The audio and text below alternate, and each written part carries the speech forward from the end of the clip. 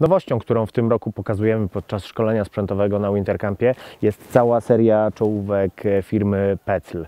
E, Według mnie na szczególną uwagę zasługuje e, model Actic, w którym oprócz e, 350 lumenów światła ma akumulator.